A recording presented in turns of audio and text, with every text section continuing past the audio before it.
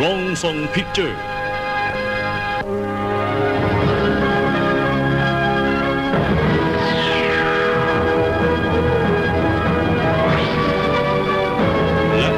Golden Princess Film Production.